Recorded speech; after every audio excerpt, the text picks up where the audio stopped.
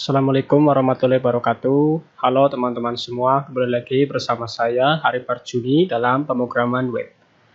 Oke, eh, di sini kita eh, akan belajar melanjutkan yang sebelumnya materi eh, latihan 4, sekarang lanjut ke latihan 5. Oke, pastikan dulu untuk teman-teman semua sudah eh, menyalakan ya SEM control panelnya dan pastikan ini warna hijau MySQL atau Apache-nya ini warna hijau.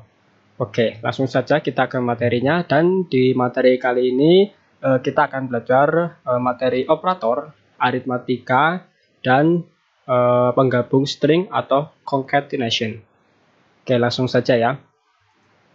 Ya, dan pastikan kalian juga sudah membuat folder di dalam latihan PHP atau kalian bisa buat folder terserah kalian dan di sini saya menggunakan folder uh, latihan PHP di dalam folder 2019 dan tentunya di dalam HT, htdocs. Oke, di sini uh, ini materi kemarin latihan 4 dan sekarang kita lanjut ke latihan 5. Kita buat foldernya latihan 5.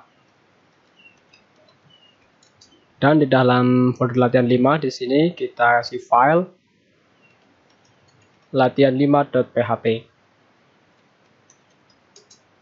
Nah, seperti ini. Kita tutup sidebarnya. Nah, jadi seperti ini ya. Kali ini kita refresh di browser. Nah, ini ada latihan 5. Saat kita klik, latihan 5 masih kosong. Oke, eh, di materi kali ini kita akan membahas operator, yaitu operator yang pertama aritmatika. Oke, kita langsung saja di sini kita buat Jangan lupa ya, selalu kasih PHP seperti ini untuk mengawali sintaks PHP-nya. Dan kita akan belajar operator. Kita kasih komentar, operator. Yang pertama aritmatika.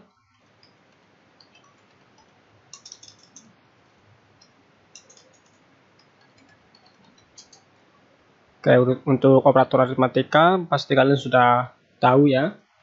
Seperti tambah, terus pengurangan, terus perkalian, pembagian, dan modulus atau sisa bagi.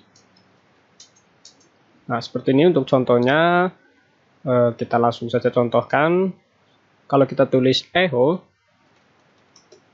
1 tambah 1, kita save, lalu kita eh, nyalakan di browser, nah, bisa kita refresh, nah, akan menghasilkan dua.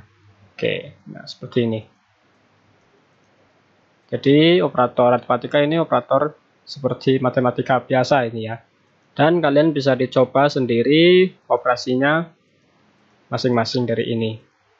Atau kita juga bisa operator aritmatika ini kita simpan ke dalam sebuah variabel.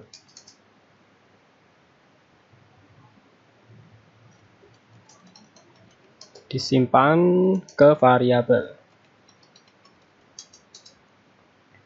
Contohnya SX sama dengan dolar X, eh, maaf, dolar dolar X, dolar Y sama dengan 20. Lalu kita echo dolar X, dolar Y. Nah, saat kita simpan dan kita refresh di browser 30 nah ya seperti ini. Ini kita bisa simpan disimpan ke sebuah variabel. Oke untuk selanjutnya yaitu uh, penggabung string atau concatenation. Kita komentar dulu. Kita buat sebuah contekan ya biar nggak lupa penggabung string atau concat ya.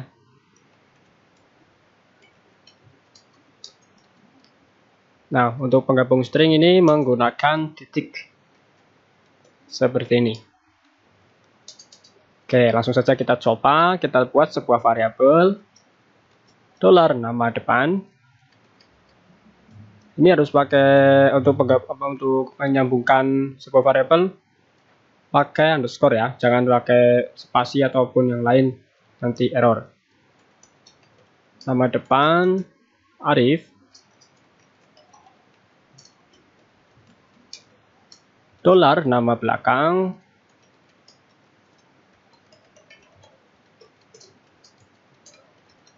Arjuni. Oke nama depan Arif. Nama belakang Arif Arjuni. Lalu kita echo dolar nama depan digabung dengan dolar nama belakang. Ini kurang lebar. Oke, seperti ini.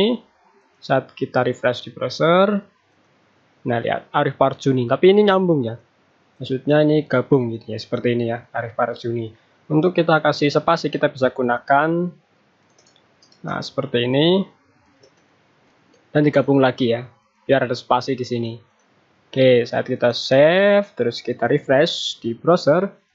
Nah jadinya seperti ini ada spasinya. Oke demikian untuk materi kali ini yang latihan kelima. Begitu saja sederhana semoga kalian paham dengan materi yang saya sampaikan dan jika kalian ada pertanyaan, silahkan tulis komentar di bawah. Dan jika kalian suka dengan video-video seperti ini, silahkan klik tombol like. Dan jika kalian suka dengan channel saya ini, silahkan klik tombol subscribe.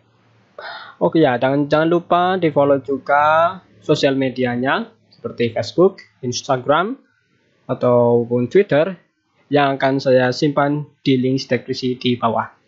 Oke, kita akan bertemu kembali di tutorial selanjutnya kembali. Eh, sampai jumpa kembali. Bye.